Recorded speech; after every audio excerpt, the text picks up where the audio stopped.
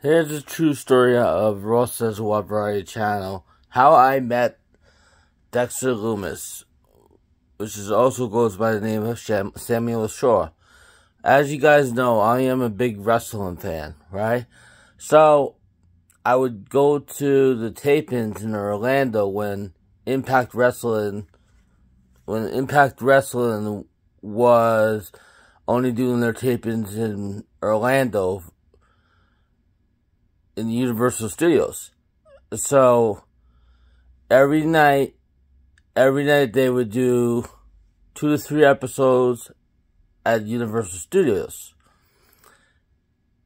So I remember one night there was this guy, he was blonde, he was kind of a little bit taller than me, of course, and he, you know, and he, he had his tattoo and he looked like he could be an army kind of guy and his name was Samuel Shaw.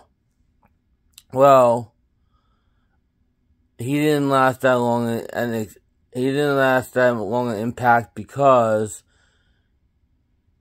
he wasn't big enough for there, and he wasn't strong enough. So, fast forward a couple years later, and now he goes by the name of Dexter Lumis and he was in the NXT brand. And what happened was, during the year of 2020, during the pandemic, he was one of the cuts. And and he was in a storyline with um, Indi Hartwell in NXT where they were married.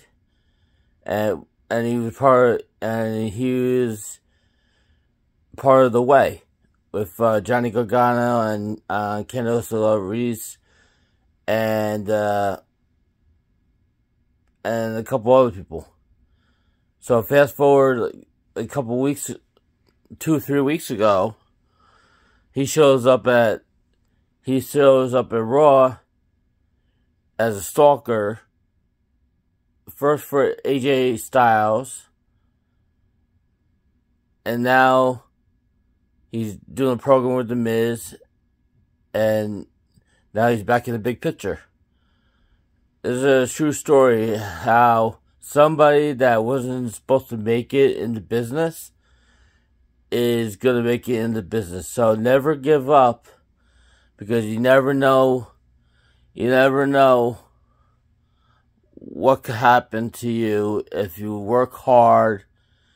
If you work hard and you and you do do right and and you continue and you continue. So this is a true story about how I met um, Dexter Lumis, which is Samuel Shaw.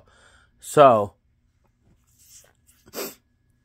so when I did that, when I used to go to Universal Studios, this was back in uh, January 2017 um, 2016, 2018, he was wrestling for Impact Wrestling.